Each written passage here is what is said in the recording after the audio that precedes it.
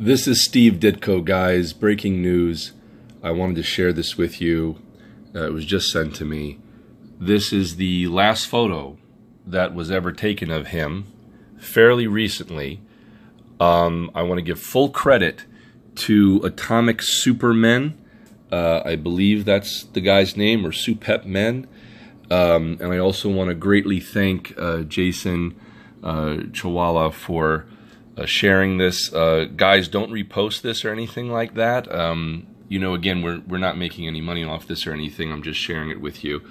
Um, but it's too risky that someone else might. So um, you'd have to get permission from the copyright holder. And um, you know, I'm not sure how to get you guys in touch other than uh, what it's listed there. But I did want to share this with you to let you know that um, as I had described him. Uh, gosh, I guess it was in March or April of uh, 2017 when I first met him. Um, this is exactly the way he looked, uh, except he was wearing a, a tan uh, um, uh, coat and uh, suit. Um, really wonderful. Um, I, you know, not not to say anything, but I, I know that um, you know, like he, he needed some work done on the teeth. Some teeth were missing. Um, but otherwise, super well dressed. Uh, his hand was in a brace when I saw him. So this has to be either right before or right after. Um, and I'll show you guys some other uh, terrific photos. But I just wanted you guys to see that, you know, when I when I first met him at 89 years old, I mean, he was looking super dapper. Um, I know that supposedly there's a bunch of uncashed checks from Marvel uh, that I guess he never cashed. And um, this is a lovely painting that uh, the original was featured at the Society of Illustrators in New York City. Uh, I'm not sure who, who, painted it, but it was a, a painting of Steve Ditko.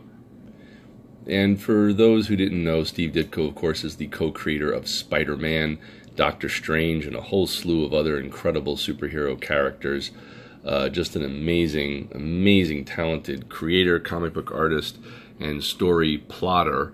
Uh, Stan Lee did give him credit, um, apparently reluctantly. This is what they, they rumor, but um, they did he did give him credit uh, in the comic as plotter, um, story plotter, uh, which is really great. Um, and again, please do not hate on Stan Lee. Uh, through the years, he has done everything in his power to give um, Steve Ditko the justice uh, and credit that, that he so well deserves. And of course, on the left, that's Stan Lee and Jack Kirby, and then on the right, Steve Ditko. Um, this is an incredible, uh, incredible uh, artist and creator, and a wonderful man. And the fact that he took so much time to talk with me and share such incredible insight and stories um, behind the scenes of what went on and again, watch my other videos where I can, I, I literally specifically go into detail about everything that he shared. This is pretty much how I feel every day when I'm done working, um, as you can see here. But uh, an incredible creator and a, a true genius. Um, again, just to reiterate, I asked him, How did you create Spider Man? He said, Ask my hand. And he holds his hand up. um, boy, will he be sorely missed. Uh, of course, this is a very young Stan Lee and a very young Steve Ditko. And this is again the original handwritten note from Steve Ditko that I put in plastic to protect it. I printed out um, a little uh, drawing of his art that I, I put with the letter. Um, that's that's not original art, but that is the original signature. Um, so there you go, guys. Thank you so much for watching. Thank you so much for your lovely comments and support. Um, this has been a comic book artist, writer, and director Graig Weich from BeyondComics.tv. Um, for those of you who don't know, I'm an independent comic book artist, writer, and director. And um, thank you guys so much for sharing in this. Um, boy, it's been tough to, uh, you know, ugh, I just wanted to show him my final comic and stuff. You know, not not that he would have cared, but you know, it was he was so nice to me when I showed him the work that I was doing. So it would have been nice to share that final uh, book. Uh, again, for those of you who are just seeing this video for the first time, I had gotten signed by Marvel and DC Comics distributors, Diamond, who put out my uh, my comic book. Actually, I'll show you what that that looks like.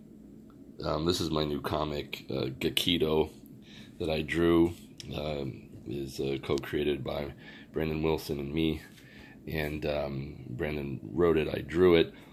Um, so I know it's you know this is a very different kind of looking art style, but I was so inspired by Steve and his action and his drama and his poses and you know some of this stuff as, as a child growing up. I just I miss him and stuff. So anyway, guys, um, thank you so much for for listening and watching.